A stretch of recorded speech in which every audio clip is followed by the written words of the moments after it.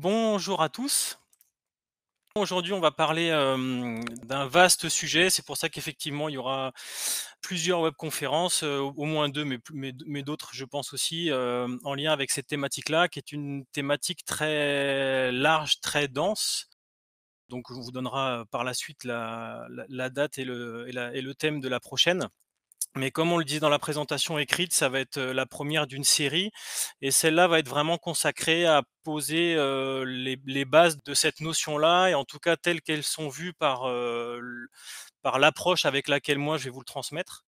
Parce que comme je vous le disais, ce sont des notions qui sont larges, qui sont quelquefois un peu abstraites et donc il y a vraiment, à mon sens, une base, à mettre en place ensemble, une terminologie pour que tout le monde se comprenne bien, s'entende bien, qu'il y ait pas non plus de biais d'interprétation. Enfin voilà, il y a tout un socle à mettre en place pour comprendre déjà d'où ça vient, comment ça a émergé, à quoi ça va servir, avant de rentrer, plus dans le détail et ça, ce sera les les webconférences qui seront, mises en place plus tard sur vraiment, l'entrée en en détail de certaines préférences motrices, cognitives et puis comment on les observe, comment on les met en évidence, comment on les voit, sur des cavaliers, sur des cavaliers qui pratiquent et sur des enseignants, voilà.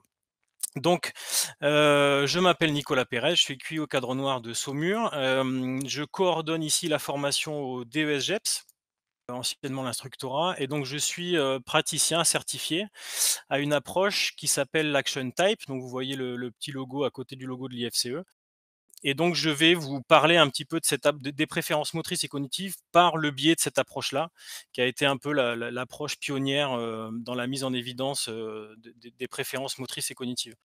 Donc, on va, heu, passer par 4 étapes dans cette webconférence. Je vais vous faire un petit point historique quand même pour que, voilà, vous sachiez d'où ça vient, comment ça a émergé, qui en sont les principaux, acteurs. Tous les principes qui sont liés aux préférences motrices, heu, les principes, les définitions, heu, voilà. Qu'est-ce qu'une préférence?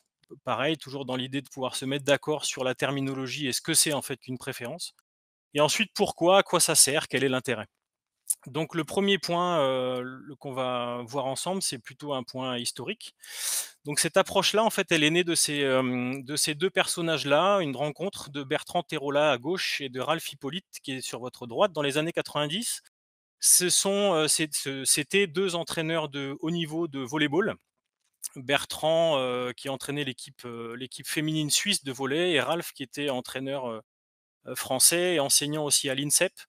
Je ne sais pas si tout le monde connaît, mais c'est l'Institut national du sport, de l'expertise et de la performance qui est à Paris, hein, le centre national de haut niveau. Il était professeur de méthodologie de l'entraînement, si mes souvenirs sont bons. Donc en fait, cette approche-là, elle est née de la rencontre de ces 2 entraîneurs qui ont beaucoup échangé ensemble, qui sont partis d'un postulat commun qui était celui de constater vraiment quotidiennement qu'il y avait toujours un delta entre, heu, les schémas moteurs, les schémas stratégiques qui étaient mis en place à l'entraînement et ce qu'ensuite les athlètes étaient, heu, en capacité, enfin pas vraiment en capacité, mais en tout cas en avec les rétributions et les rendus qu'il y avait en situation de compétition. Et donc ils sont partis du principe que c'était pas forcément les athlètes qui ne faisaient pas, heu, par plaisir ce qu'on leur demandait de faire et cetera, mais que ça se jouait ailleurs sur d'autres, heu, sur d'autres paramètres. Et donc après, ils ont repris, d'anc d'anciennes études sur, certains paramètres de certaines préférences motrices remontent, heu, remontent à assez longtemps. Et donc au fur et à mesure de, leurs discussions, de leurs observations, heu, et de leurs rencontres aussi avec certains neuroscientifiques, d'autres entraîneurs, ils ont réussi à, mmh, déterminer que le le les gestes qu'on pouvait mettre sur le dos du hasard, qu'on faisait quotidiennement, on illustrera ça un petit peu plus en détail tout à l'heure, n'étaient en fait pas si dus au hasard que ça et qu'on avait chacun, hem, en nous un référentiel moteur qui était propre à chacun, mais heu, sur lesquels on pouvait retrouver, certains traits communs et certaines préférences communes. Donc ce que je vais vous exposer tout au long de cette webconférence et des suivantes, c'est en fait un condensé quand même de 30 ans d'observation, d'expérience et d'études sur le terrain, de d'e d'essais, d'erreurs et cetera, heu, c'est une approche qui est, hem, assez empirique, qui a vraiment émergé du terrain et hem, et qui maintenant commence à être appuyée par certaines, données scientifiques. Mais c'est, avant tout une une approche scientifique qui a émergé d'observations faites sur le terrain par des entraîneurs. Voilà. 2 citations pour essayer de situer aussi un peu, hem, la philosophie de cette approche-là et d'où elle est elle est née. Je vous ai mis 2- 2 citations. La 1re, c'est d'un docteur, heu, un neuroscientifique qui a reçu un, prix, de de renom dans la société des neurosciences. «Nous ne bougeons pas parce que nous pensons, mais nous pensons parce que nous bougeons». La 2e citation, c'est aussi un neuroscientifique et ingénieur: «Nous avons un cerveau pour une seule raison et seulement pour cette raison. Il s'agit de produire des mouvements adaptables et complexes». En fait, toute une partie, du corps scientifique aujourd'hui est assez convaincue que, le cerveau et le mouvement sont intimement liés. Au départ, on pensait que c'était le développement du cerveau qui faisait qu'après on se développait vraiment au niveau moteur. Et en fait on tend à penser l'inverse, que le mouvement participe au développement cognitif, en fait. Et hem, je sais pas si la majorité d'entre vous a des enfants, mais c'est vrai que l'intelligence motrice chez l'enfant se développe avant l'intelligence cognitive.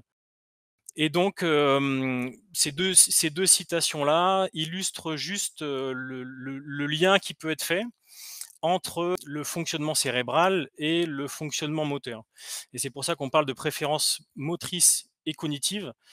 Parce qu'en fait, on peut, heu, faire le lien entre les 2 à partir du moment et on l'explicitera un petit peu plus tard, hem, un peu plus en détail, que le cerveau, heu, fonctionne, nous fait réfléchir, nous amène sur certaines préférences de comportement et aussi sur des préférences motrices. En tout cas, c'est pour faire le lien vraiment entre, heu heu, le corps et l'esprit et en fait, les 2 sont en corrélation permanente.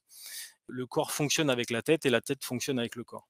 Voilà ce qui illustre un peu ces 2, heu, ces 2 citations. On va ensuite passer à aux principes qui sont liés, qui sont liés aux préférences motrices. Elles sont au nombre de 3. La 1re, c'est l'unicité, c'est-à-dire notre capacité à être chacun et chacune, heu, complètement unique dans notre, heu, manière de fonctionner, dans notre manière dans notre manière d'être, hem, dans notre manière de bouger, mais aussi dans notre manière de fonctionner au sens vraiment, large du terme. Et chaque individu représente en fait, une combinaison singulière de ses préférences motrices, de ses préférences cognitives, de son vécu aussi. Bien évidemment aussi et particulièrement même, on y reviendra aussi un petit peu plus tard, mais ce qui fait vraiment un individu, c'est pas juste des préférences, qu'elles soient motrices, cognitives, heu, motivationnelles, mais aussi bien évidemment son vécu et son histoire. Donc donc hem, ça ça permet d'introduire quand même le fait que cette approche-là n'est absolument en aucun cas faite pour, heu, mettre les gens dans des cases, mais bien au contraire de pouvoir, heu, déceler chez certains individus des préférences, mais qui vont faire de lui quelqu'un d'unique. Voilà un peu la philosophie. En au en aucun cas justement de fermer des gens dans des cases et heu, de pouvoir dire, heu: «Il y a, heu, 12 types de personnes et pas plus», parce que de toute façon toutes ces approches-là ne prennent absolument pas en compte, ni le vécu, ni l'histoire, ni la culture, ni la religion, ni donc tous ces paramètres-là qui font de nous aussi la personne que l'on est. Le 2e, heu, principe, c'est le principe de diversité. S'il y a unicité, il y a diversité. Heu, ça vous le vivez, je pense peut-être qu'il y a une majorité d'enseignants entre vous et même si ce n'est pas le cas, on rencontre des gens, on côtoie des gens tous les jours et on se rend compte tous qu'on a autour de nous des personnes qui sont, heu, complètement, complètement différentes et si chacun est unique, par définition, tout le monde est différent. Donc cette approche prône aussi, la diversité et la richesse, de la diversité et effectivement aussi dans la manière de de fonctionner au niveau moteur. Il suffit de regarder, heu, un grand prix à la télé, heu analyser les 3 premiers, heu, les 3 premiers cavaliers sur un podium pour voir que les manières de faire sont différentes. Il y a bien évidemment des des codes qui sont communs, des choses qui sont communes, mais chacun a sa propre, sa propre manière de faire et est performant avec sa propre manière de faire. Le dernier principe, c'est celui du mouvement naturel parce que cette approche-là a permis de mettre en place des petits exercices, des petits tests pour, heu, justement mettre en évidence les préférences motrices de chacun. Donc de déterminer quel est le mouvement naturel, le mouvement préférentiel des individus et de faire en sorte après de pouvoir, heu, adapter la technique. Donc on y reviendra après, pas du tout, heu, l'idée est pas du tout de laisser les gens s'exprimer de manière complètement naturelle et d'oublier la technique, mais c'est de partir du mouvement qui est inné, naturel, spontané et d'adapter ensuite la technique, à chaque individu. Voilà un peu pour le les principes et la philosophie, globale. Là, je vous ai mis en résumé, une phrase qui est tirée du de de l'ouvrage qui fait référence, dont je vous ai remis après sur la dernière slide le titre et, l'édition. C'est Bertrand Terola, donc a écrit la Bible des préférences motrices et euh, il nous dit que reconnaître l'individu, en fait, la mission vraiment de cette approche-là, c'est de reconnaître l'individu pour qui il est, pour qui il devient, afin de lui permettre de s'exprimer constructivement et de s'épanouir au sein de sa propre identité. Donc c'est que chacun puisse s'épanouir. Nous, on va rester sur l'aspect sportif à travers sa propre identité, ses propres références et que chacun trouve son compte dans sa pratique sportive. Ensuite, on va passer au troisième petit point où on va essayer de définir ensemble ce que c'est qu'une préférence, avec au départ un aspect purement scientifique, mais je ne suis pas du tout neuroscientifique, donc je vous ai juste mis une image. Vous voyez, hein, c'est une tractographie des voies neuronales. En fait, c'est les dernières techniques d'imagerie euh, qui permettent d'illustrer un peu le fonctionnement cérébral et les allers-retours qui se font entre toutes les connexions. En fait, c'est juste pour vous montrer un peu euh, la, complexité d'un cerveau humain. Donc, on voit le cerveau de côté, hein, l'hémisphère euh, l'hémisphère gauche qui est face à nous. On aperçoit le cervelet en bas à droite. Donc, voilà, c'est quelqu'un qui est tourné vers la gauche, avec le lobe préfrontal à gauche et le lobe occipital à droite. Et donc on voit toutes ces connexions, tous ces chemins, en fait, euh, on les différencie par un code couleur. pour votre euh, culture générale, en fait, les, les couleurs sont standardisées, je crois, sur ces imageries-là. La couleur verte, jaune sont les liens qui se font entre l'arrière et l'avant, donc plutôt entre le lobe frontal et le lobe occipital. Tout ce qui est euh, couleur rouge, jaune, avec différentes nuances, c'est plutôt les, mmh, les allers-retours qui se font entre la gauche et la droite, donc entre l'hémisphère gauche et l'hémisphère droit. Et tout ce qui est bleu, violet, ce sont les, transmissions qui se font du haut vers le bas. En tout cas, pour vous montrer que vous le, enfin ça je vous apprends rien si je vous dis ça, mais que le cerveau humain est très complexe, que les connexions se font en permanence dans tous les sens et que tout le monde ne fonctionne pas même dans ces connexions-là de la même manière et qu'on est déjà là-dessus sur des différences interpersonnelles et que les cerveaux de chacun, vous voyez le nombre de connexions qu'il peut y avoir, le nombre d'allers-retours qui peuvent se faire. Tout le monde ne fait pas les mêmes au même moment. Et certains, certaines zones de notre cerveau et dans lesquelles il y a plus de mouvements vont être plutôt des zones du cerveau qui vont être en relation avec une capacité d'organisation, une capacité de mémoire, une capacité de projection, des capacités émotionnelles, etc. Et donc, ces différentes connexions-là, en fonction d'où elles se font majoritairement, vont déterminer une manière d'être et, effectivement aussi une manière de fonctionner. Ensuite, de manière plus pragmatique, on va passer à des petits tests physiques qui vont vous mettre un peu à contribution aussi. Donc, je vais vous proposer de faire deux exercices et de faire deux exercices de manière différente. Donc je sais que certains sont devant des PC, d'autres devant des téléphones portables, donc peut-être que tout le monde n'est pas muni d'un stylo et d'une feuille, mais en tout cas j'invite ceux qui ont un stylo et une feuille à prendre leur stylo et leur feuille. Il y aura un deuxième exercice un peu plus facile à réaliser pour ceux qui sont devant un téléphone ou dans le train ou, ou je ne sais quoi, mais je vous invite à faire un premier exercice. Vous prenez simplement votre stylo, vous écrivez votre nom et votre prénom, et vous signez juste en dessous. Je vous laisse 30 secondes. Normalement, ça ne doit, pas, prendre beaucoup, beaucoup de temps. Je vous laisse 30 secondes. Une seule consigne. On prend son stylo, on écrit son nom et son prénom et on signe en dessous.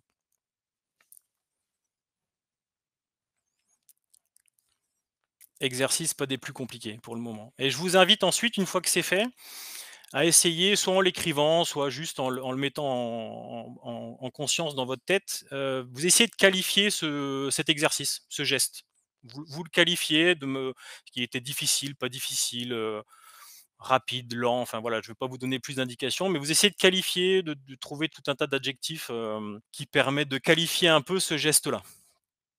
Voilà, donc je vois plein de trucs défiler, simple, habituel, voilà exactement, facile. Ok, automatique, spontané, tout à fait. Instinctif. Voilà, donc je vous invite à faire maintenant le deuxième exercice, toujours avec votre stylo qui va être de changer de main, d'écrire votre nom et votre prénom et de signer juste en dessous. Et de la même manière, une fois que c'est fait, ça doit normalement prendre un tout petit peu plus de temps, vous qualifiez en quelques mots euh, ce geste-là.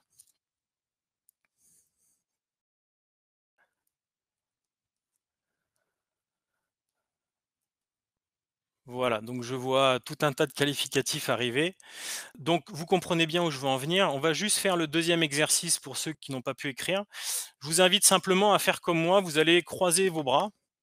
Voilà, comme c'est, heu, comme est in est indiqué sur le dessin, vous croisez vos bras plusieurs fois, 2-3 fois. Vous croisez vos bras devant vous comme ça. De la même manière, on qualifie un peu, heu on qualifie un peu ce geste-là, juste le simple fait de croiser les bras.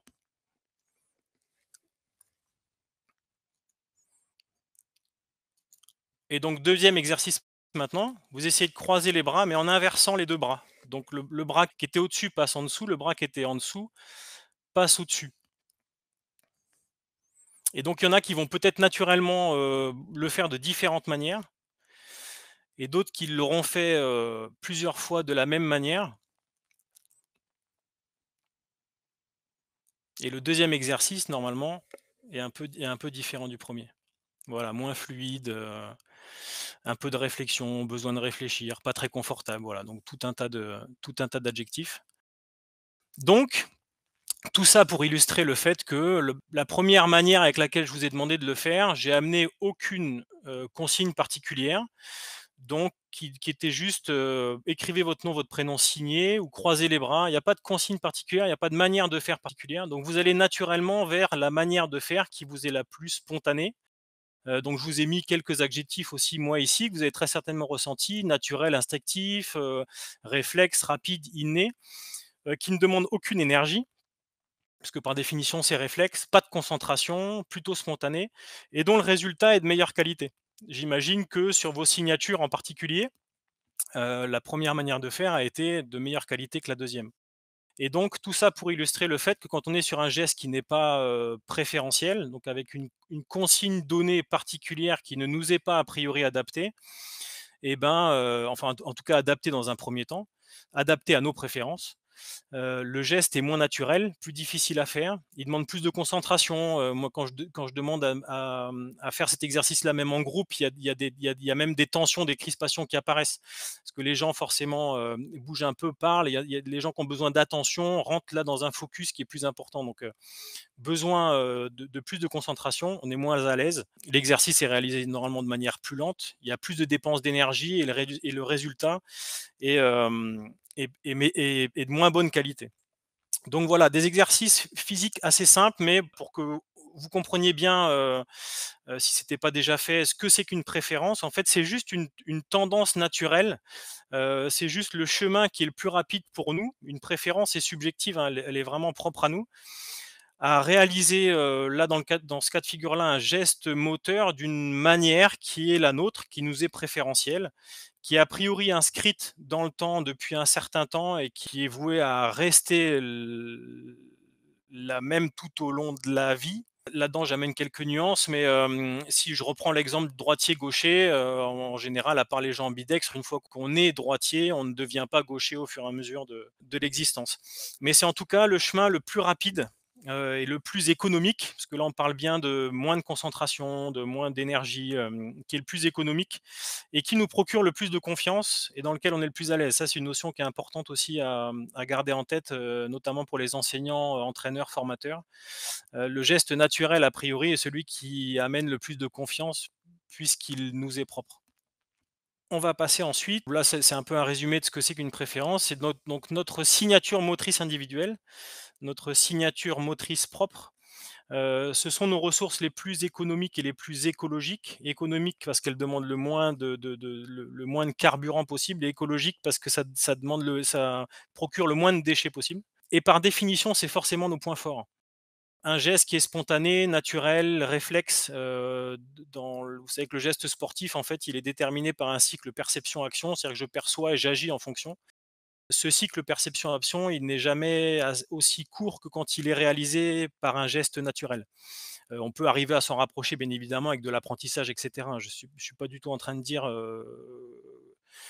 qu'un geste appris, longtemps, répété toute une vie ne sera pas aussi efficace, mais a priori ce cycle perception-ac action est quand même le plus efficace sur un geste naturel. Donc nos gestes naturels spontanés, nos préférences définissent nos points forts et donc les chemins qui ne sont pas préférentiels définissent pas nos points faibles, mais en tout cas notre zone d'évolution. Hem, dans le cas dans cas des quand vous avez croisé les bras, quand vous avez écrit avec la main gauche ou avec la main droite, vous n'êtes pas incapable de le faire de la 2e manière. tout le monde est capable de tout faire. Ça, c'est aussi le un postulat qui est très important. C'est-à-dire que le fait de déterminer des préférences ne détermine pas des compétences ou des compétences à pouvoir faire ou ne pas faire. Ça, c'est aussi très important. Une préférence ne vous détermine pas en tant que quelqu'un qui n'est pas capable de faire de la manière inverse, bien au contraire. Ça détermine juste votre chemin préférentiel, mais ça permet aussi de conscientiser et d'être lucide sur les zones d'amélioration et en fait, l'idée, c'est justement de pouvoir, heu, exploiter ses préférences motrices et ses non préférences motrices qui sont un justement un chemin d'amélioration, heu, infini. Ensuite, on va parler un petit peu de l'intérêt, parce qu'on avance un peu dans le temps. 20 minutes, c'est très court, hein, pour vous parler de ce sujet-là, mais on avance un peu, heu, donc pourquoi? Quel est l'intérêt? Le 1 intérêt, vous voyez, là, je vous ai mis un peu cette image d'entonnoir avec, heu, certains paramètres qu'on peut, heu, réussir à mettre en évidence, heu, à travers mmh, cette approche des préférences motrices, donc la stratégie de marche, notre organisation plutôt verticale, horizontale, la stratégie visuelle, l'œil moteur. Tout ça, on en reparlera, plus en détail sur les webconférences à venir. En tout cas, tous les paramètres qui déterminent nos préférences motrices permettent vraiment une prise en charge individualisée de l'a de l'apprentissage moteur. C'est-à-dire justement de pouvoir être lucide et de conscientiser sa zone de confort et j'appellerais pas ça une zone d'ombre. Pour moi, c'est vraiment une zone d'évolution. C'est-à-dire, il y a votre zone de confort qui est préférentielle, qui est innée et il y a la zone qu'il faut aussi aller explorer pour pouvoir être sur une démarche de développement, heu, complète.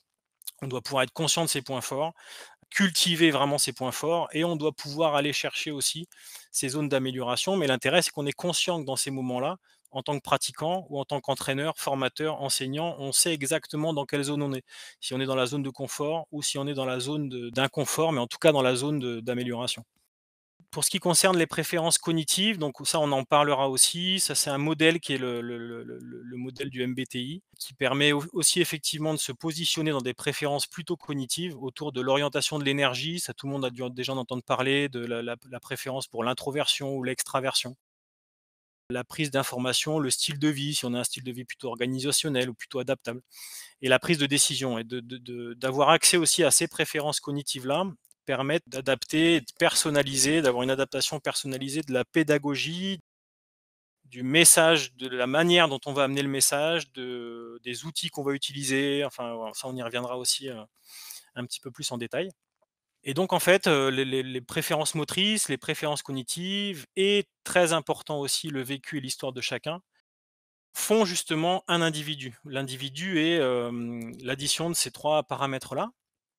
Et donc toute l'idée de se servir de ces préférences motrices-là ou d'être en tout cas, heu, initié, éveillé à ces préférences-là, permettent vraiment d'adapter, heu, la technique à l'individu et de remettre l'individu c'est pour ça que j'ai mis cette petite, heu, personne au milieu, c'est vraiment de remettre le pratiquant et de remettre l'individu au centre de sa pratique, mais au centre de tout, en fait, au centre de sa technique. Donc le le discours, pas non plus, j'espère que là-dessus, on s'est bien compris. C'est pas du tout de dire que, il ne faut plus faire de technique, parce que ça ça peut être aussi un biais d'interprétation quelquefois, mais c'est d'adapter la technique à l'individu et de ne pas faire l'inverse. De ne pas demander à l'individu de se plier à la technique qui est, ancestrale et cetera, mais de chercher justement à ce que la technique s'adapte à l'individu. Mais la recherche de technique est toujours une recherche, bien évidemment, dans l'amélioration sportive et dans la progression, la recherche de technique est, indispensable. Mais quand la technique peut s'adapter à l'individu, en tout cas à certains moments, à certaines phases d'apprentissage, c'est bien plus intéressant et c'est adapté au plus grand nombre. On peut adapter aussi, heu et remettre l'individu au centre de ces schémas d'apprentissage. C'est-à-dire comment on va amener justement cette technique-là au centre de la communication. C'est-à-dire qu'en fonction de l'individu que j'ai en face de moi, je vais pas communiquer de la même manière, je vais pas employer les mêmes termes. Il y a des gens pour qui, heu, les images abstraites, heu, les métaphores vont être très parlantes, pour d'autres pas du tout, qui vont être très dans le réel, très dans le concret, donc c'est aussi, important d'en avoir, conscience. On adapte tout simplement sa pédagogie en fonction de l'individu et l'individu est aussi au centre de sa pédagogie, de ses objectifs. Parce que les profils motivationnels des gens ne sont pas du tout les mêmes, heu et quelquefois sont différents des nôtres, formateurs, entraîneurs, enseignants et donc là, c'est pareil, c'est est-ce qu'on aborde les gens à travers nos motivations, nos objectifs ou est-ce que vraiment on prend en en considération les leurs? La temporalité, il y a des gens, qui ne vont pas avancer à la même vitesse que d'autres ou sur certains gestes sportifs qui vont avoir plus de mal que d'autres. Heu, voilà, si j'avais amené une consigne dans l'exercice de tout à l'heure, heu, où je vous demandais d'écrire votre nom et votre prénom, je vous avais imposé la main droite, bah, j'aurais facilité les choses aux droitiers, j'aurais complexifié la tâche des gauchers. Donc les gauchers auraient mis plus de temps à faire cet exercice-là. Heu, c'est simplement d'être, conscient qu'en fonction de l'e de l'exercice qu'on demande et ben, hem, il y a des gens pour qui ça va être facile, d'autres moins. C'est pas pour autant que les gens sont moins bons. Dans le cas de l'école, c'est exactement pareil, hein. C'est pas parce que des élèves vont moins vite qu'ils seront moins qu'ils sont moins intelligents, qu'ils seront moins bons, mais c'est juste que la temporalité est, propre à chacun et la posture de l'enseignant va être bien différente, en fonction de l'individu qu'on a en face de nous. J'espère que j'ai été, compréhensible, que toutes ces notions-là sont assez claires. Les 5 points à retenir, on va passer assez vite, là-dessus, mais c'est, voilà, si on voulait faire vraiment un résumé, en tout cas des 5 choses que j'avais envie de vous faire passer, c'est qu'aucune préférence n'est meilleure qu'une autre. Les droitiers ne sont pas meilleurs que les gauchers, les gauchers ne sont pas meilleurs que les droitiers. Une préférence, encore une fois, n'évalue pas une compétence, c'est juste une préférence, mais on fait avec. Il n'y a pas qu'une seule manière de faire, donc il n'y a pas qu'une seule manière de faire faire. Et moi, c'est vrai que je me sers beaucoup de cette approche-là sur la formation des futurs, heu, instructeurs, donc du futur formateur de formateurs. Et comme il n'y a pas une manière de faire, il n'y a pas qu'une manière de faire faire. Donc, le tout le travail, complexe d'un enseignant, formateur, entraîneur et d'adapter la sa transmission à la manière de faire de l'individu. Donc tout le monde est capable de tout faire, ça on l'a dit aussi tout à l'heure, hein, si à un moment donné, heu, un droitier se casse le bras droit et ben, il va être capable, hein, de de de signer, d'écrire de sa main gauche, ça va être plus facile, ça va demander plus de temps. J'aurais pu aussi vous parler de l'exemple de Rafael Nadal qui qui joue gaucher au tennis, mais qui est droitier. Donc on peut être très performant, à travers un un référentiel qui n'est pas notre référentiel préférentiel, mais par contre ça va demander plus de temps, ça va être plus contraignant. Mais on peut être très compétent aussi dans quelque chose qui n'est pas notre préférence immédiate et les préférences en plus dépendent vraiment d'un contexte, enfin ça on en reparlera un peu plus dans le détail. Heu, un problème technique et bah, comme il n'y a pas qu'une manière de faire, heu, un problème technique peut être résolu de plusieurs manières. Donc après, c'est vrai que certaines disciplines, il y aura peut-être des questions en lien avec ça, hein, mais nous on est, dans la discipline du dressage, du hunter, heu, de la voltige et cetera. On est soumis à notation, donc il y a des critères bien précis il faut à un moment donné que, les gens se plient à une technique, mais c'est surtout la manière de les amener à faire ça qui va être différente. Il ne faut pas oublier la technique, mais mettre l'individu au centre de sa pratique, c'est ce qu'on a dit juste avant. Voilà, la dernière diapo, c'est pour vous donner un peu la date, heu, de la prochaine webconférence, en tout cas en lien avec ce thème-là, qui qui aura lieu le 21 décembre à 11:30 et dans laquelle on verra les 2 organisations, les 2 orientations, on a changé le titre au dernier moment, face à la gravité. Donc là, on rentrera un peu plus dans le détail du d'un paramètre qui détermine nos préférences motrices. Heu, je vous ai mis 2 ouvrages, si vous voulez, heu, vous intéresser un petit peu plus à ce phénomène-là.